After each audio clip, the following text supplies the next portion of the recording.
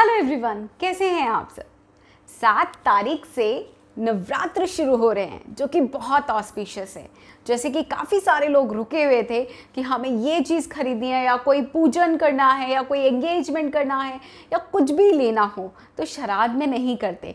But अब आगे हैं बहुत ही ऑस्पिशियस डेज़ जहाँ पर हम कोई सगाई वगैरह इंगेजमेंट वगैरह करनी होती है, या कोई भी रुके हुए काम है, अगर वो आप लोग करना चाहते हैं, या कुछ नया खरीदना चाहते हैं, या शादी की शॉपिंग करना चाहते हैं तो ये डेज़ बहुत ही ऑस्पिशियस माने जाते हैं। इस डेज़ पर जो भी कुछ किया जाता है, बहुत ही अच्छा रहता है। आपके घर में प्रोस्पैरिटी ही प्रोस्पैरिटी आती है। तो कोशिश कीजिए, अगर आप कुछ भी खरीदना चाहते हैं तो इन डेज़ में ज़रूर की, ज़रूर शॉपिंग ज़रूर कीजिए। चलिए, आज मैं आपके साथ शेयर करने वाली हूँ नवरात्रों से रिलेटेड उपाय। बट साथ ही आज मैं आपके साथ शेयर करूँगी एक ऐसा उपाय, जिससे आपकी बहुत ही पुरानी, कोई भी मनोकामना ऐसी है जो पूरी करना चाहते हैं। तो वो फटाक से पूरी हो जाएगी और बहुत जल्द पूरी हो जाएगी। माँ के आशीर्वाद से ज़रूर पूरी होगी। बहुत ही सिंपल चीज़ मैं आज आपके साथ शेयर करने वाली हूँ। बहुत ही नया चीज़ है और ज़रूर ट्राई कीजिएगा क्योंकि मुझे पक्का पता है आप लोगों को रिज़ल्ट ज़रूर की ज़रूर मिलेंगे। साथ ही बहुत सारे और भी आज आपके साथ उपाय शेयर करने वाली हूँ। तो वीडियो में एंड तक बने रहिएगा। बट उससे पहले ये जान लीजिए, मैं कौन? मैं शालिनी गुप्ता, वास्तु कंसल्टेंट नमस्ते आप सबको मेरा। आशा करती हूँ आप लोग घर में सब सही होंगे, मज़े होंगे, मस्त होंगे, स्वस्थ होंगे। मेरी ब्लेसिंग्स आपके साथ हैं हमें हँसते रहें और मुस्कुराते रहें।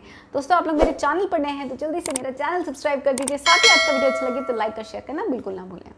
चलिए दोस्तों, माता की तैयारी सब लोग कर रहे होंगे। सात तारीख है और सात तारीख आने वाली है और सात तारीख के दिन हम लोग बहुत सारी तैयारी करते हैं, बहुत सारी चीज़ें करते हैं। कोई जॉब होता है, कोई माता की स्थापना करता है, बहुत सारे लोग अलग अलग चीज़ें करते हैं।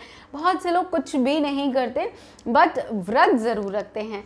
तो आपकी मर्ज़ी है, ये ज़रूरी नहीं आप लोग व्रत रखें ज़रूरी नहीं है माता की स्थापना करें। अगर आप लोग करते हैं तो बहुत अच्छी बात है। नहीं करते तो भी कोई बात नहीं है, परेशान होने वाली बात नहीं है। जो भी आज मैं आज आपके साथ उपाय शेयर कर रही हूँ, आप वो उपाय ज़रूर कर सकते हैं। सबसे पहले चलते हैं पहले उपाय की तरफ़। अगर आपकी शादी में देरी हो रही है और आप चाहते हैं कि आपकी शादी जल्दी से जल्दी हो जाए, अगर कुछ ना कुछ शादी में ऑब्स्टिकल्स आ रहे हैं या फिर आपकी मैरिज लाइफ में खराबी आ रही है तो आपको क्या करना है? नौ दिन तक लगातार आपको पान का जो पान बनाते हैं, पान का बीड़ा जिसे बोलते हैं, वो बना के माता रानी को चढ़ाना है। लगातार नौ दिन तक करना है आपको ये उपाय। नौ दिन उपाय, जब आप पान का बीड़ा चढ़ाएँगे या वो पान चढ़ाएँगे, तब आप माँ को ज़रूर प्रार्थना करेंगे कि आपकी जो भी प्रॉब्लम है या जैसे कि आपकी शादी से रिलेटेड जो भी प्रॉब्लम है, शादी नहीं हो रही है शादी आपकी बहुत ख़राब चल रही है, यानी कि मैरिज में कुछ ना कुछ इश्यूज़ आ रहे हैं तो आप उनको रिजॉल्व करने के लिए आप माता से प्रार्थना करेंगे और ये उनको चढ़ाएँगे। तो देखेंगे जल्दी जल्दी आपकी नौ दिन के अंदर ही अंदर आपको महसूस होने लग जाएगा कि आपकी लाइफ में मैरिड लाइफ ठीक होना स्टार्ट हो जाएगी और आप कोई रस्ते बन जाएँगे। अगर आप मैरिज करना चाहते हैं। अब चलते हैं दूसरे उपाय की तरफ़।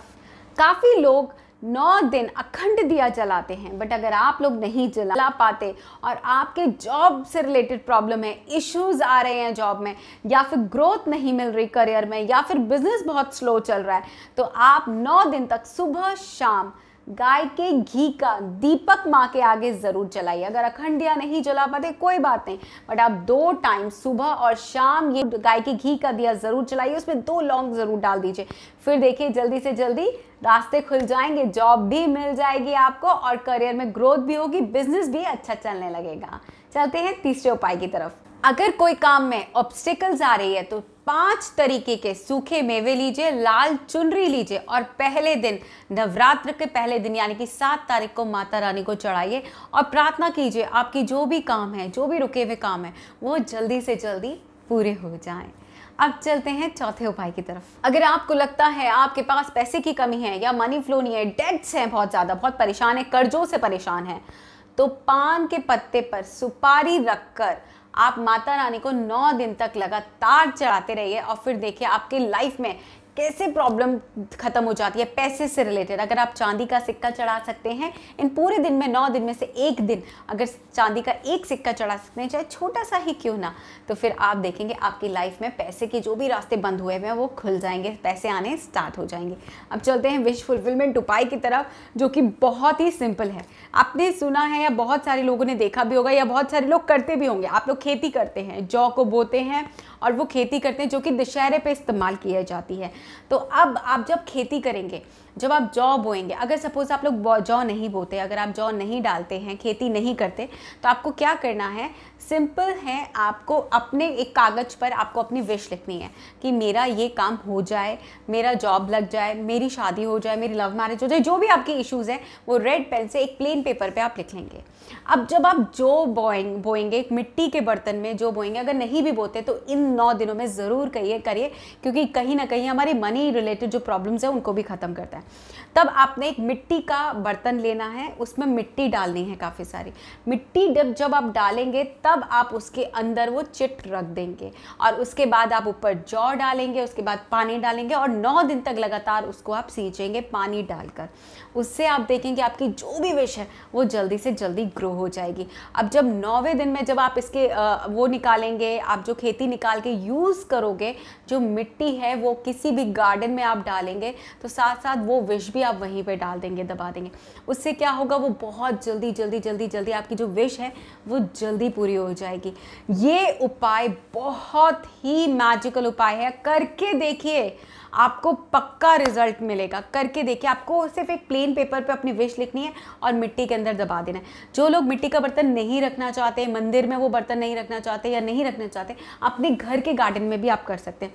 हल्के से गार्डन को आपको खोदना है वहाँ पर मिट्टी खोदनी है, थोड़ा सा वो चिट डालनी है, बंद कर देना उसके ऊपर आपने जौ डाल देना है और डेली उसको पानी डालना है। नौ दिन तक लगातार कीजिए, जो भी विश आप डालेंगे, वो जल्दी ही पूरी हो जाएगी।